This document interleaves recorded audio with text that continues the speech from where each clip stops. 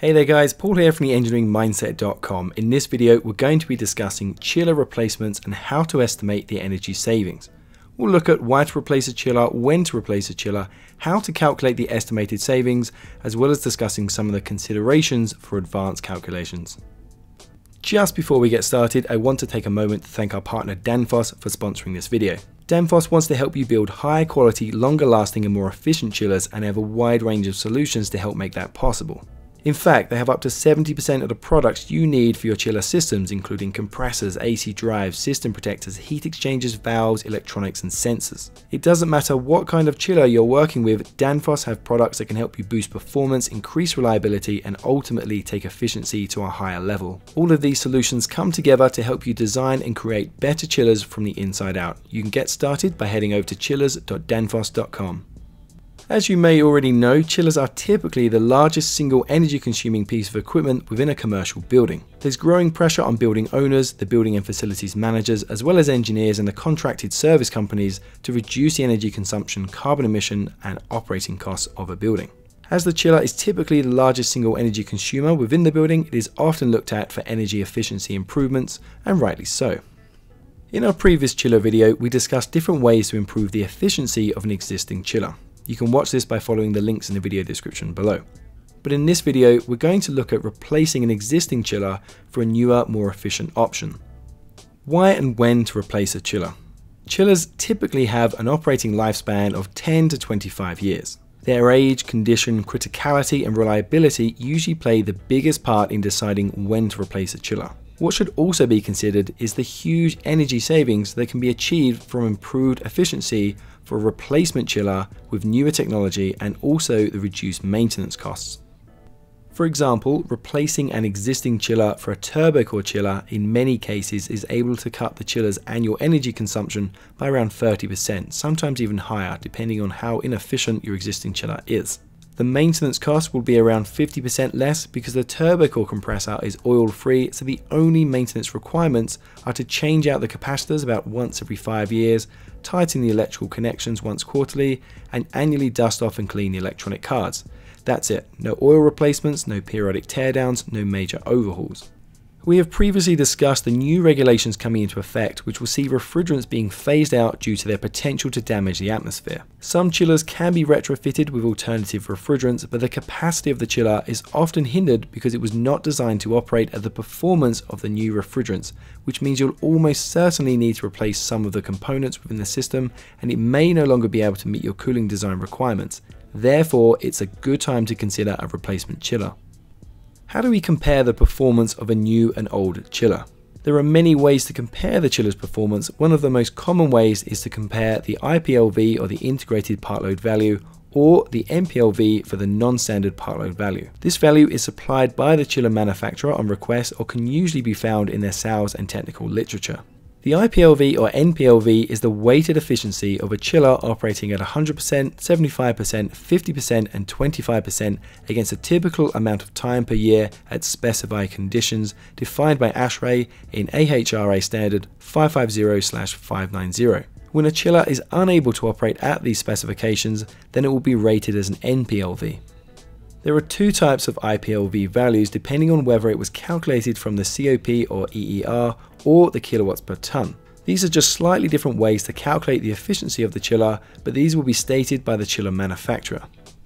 For example, a chiller with a reciprocating compressor might have an IPLV COP rating of 4.6 whereas an equivalent Turbocor compressor might have an IPLV COP rating of 10.35. As COP is based on the kilowatts of electricity input per kilowatts of cooling output, then a higher COP rating means a more efficient chiller. Therefore, the Turbocor is more efficient than the reciprocating compressor. When the chiller is rated on IPLV for kilowatts per ton, then a lower value means it's more energy efficient. The same reciprocating chiller might have an IPLV kilowatts per ton of 0.7645 whereas the Turbocor compressor might have an IPLV kilowatts per ton of 0.3398, so the Turbocor is therefore still more efficient. How to estimate the annual energy consumption for a replacement chiller. There are a few ways to calculate this and it depends firstly what the calculation will be used for and what data you have available.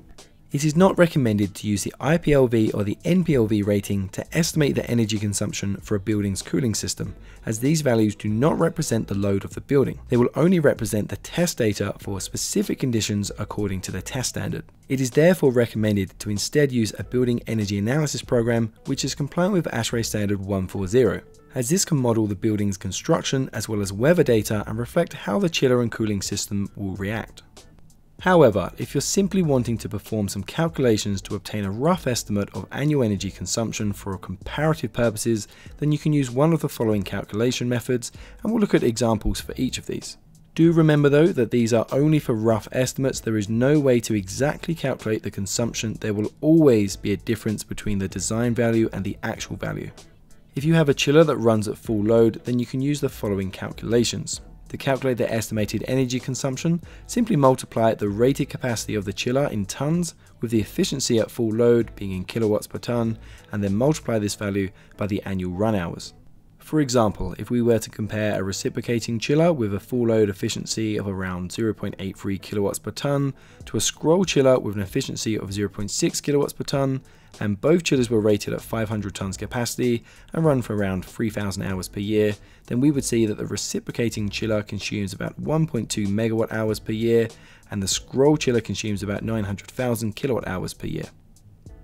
Alternatively, if you have the COP rating, you would simply divide the chiller capacity rated in kilowatts by the COP value, then multiply this by the operating hours per year. So to compare two chillers rated at 1758 kilowatts, the first being a reciprocating chiller with a COP of 4.24 and the second being a scroll chiller with a COP of 5.86, both run for around 3000 hours per year, then the estimated energy consumption would again be equal to around 1.2 megawatt hours per year for the reciprocating chiller and 900,000 kilowatt hours per year for the scroll chiller. If you have a chiller with a variable load, which is far more likely, then you can use one of the following methods. If you have the IPLV kilowatts per ton value, then you can use the following method. To calculate the estimated annual kilowatt hour consumption, then take the cooling capacity rated in tons for the chiller and multiply this by the annual operating hours per year, then multiply this by the efficiency of the IPLV kilowatts per ton value, and then multiply this all by the average loading factor, which is typically around 0.6 or 60%. For example, we'll compare a Turbocor chiller with an IPLV rating of 0.34 to a reciprocating chiller with an IPLV of 0.65. Both units are rated at 250 tons with an average load factor of 0.58 and these operate for around 5,000 hours per year. So if we drop the numbers in, you can see that the Turbocor chiller comes out at 246,000 kilowatt hours per year, whereas the reciprocating chiller would come out at around 471,000 kilowatt hours per year, resulting in a substantial saving of 224,000 kilowatt hours per year. If you have the IPLV COP value, then you can use the following method. To calculate the estimated annual kilowatt hour consumption, take the cooling capacity, rated in kilowatts, and multiply this by the operating hours per year, then divide this by the efficiency COP value, and then multiply this by the average load factor. Again, this is usually around 60%. For example, we'll compare a Turbocor chiller with an IPLV value of 10.35 to a reciprocating chiller with an IPLV value of 5.409 both have an average load factor of 0.58 and a runtime of 3000 hours per year. To calculate this, we need to take the chiller's rated capacity in kilowatts and multiply this by the hours per year that it'll run, then divide this by the IPLV COP efficiency, and then multiply this by the average load factor. Dropping these numbers in, we can see that the reciprocating chiller consumes around 343,000 kilowatt hours per year, whereas the Turbocor consumes around 153,000 kilowatt hours per year.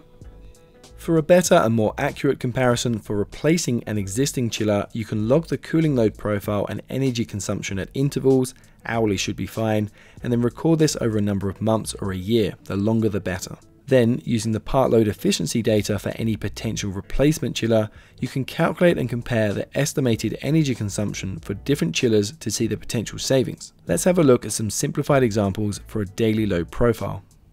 From the chiller log, we can obtain the daily cooling load in refrigeration tons and see that the chiller runs for around 10 hours per day between 8am and 5pm. Then we need the efficiency of both the existing and the new chiller, and in this example, we'll use the rating of kilowatts per ton for the efficiency. So by multiplying the efficiency by the cooling load, we get the hourly kilowatt hour consumption.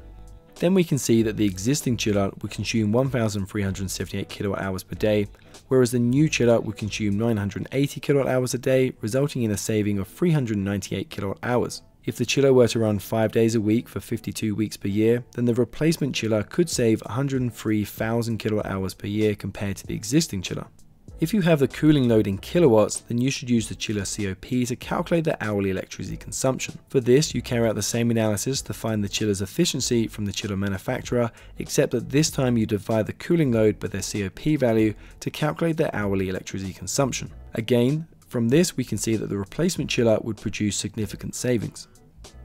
As I said, this is an overly simplified example. In the real world, the chiller load will change throughout the day and the seasons and would likely run for much longer hours, so you would need to account for this. Basing the annual performance on a single week is simply not going to be sufficient. You need to maximize the time and use accurate data. If you think there is a business case for replacing a chiller, then when you tender the project to the contractor, ask them to provide an estimated savings and payback summary. To calculate the financial savings, you need to consider the electricity tariffs for the building as this will most likely vary throughout the day and the year.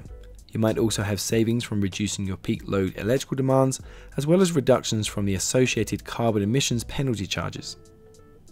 More complex financial models should incorporate inflation rates for the tariffs, Savings can also be quantified for the reduction in pumping costs due to the reduction in pressure drop across the chiller's evaporator and condenser. Lastly, you should obtain quotations for the maintenance and materials of the new chiller and include any reduction within the financial model. For payback, you need to account for the cost of the chiller as well as the removal, disposal, installation and commissioning for the new unit from a contractor. That about wraps things up. Before I go, I just want to thank Danfoss one last time for sponsoring this video. Don't forget to check out their wide range of chiller solutions over at chillers.danfoss.com. Okay guys, that's it for this video. Thank you very much for watching. I hope you enjoyed this and it helped you. If so, please don't forget to like, subscribe and share. If you have any questions, leave them in the comments section below.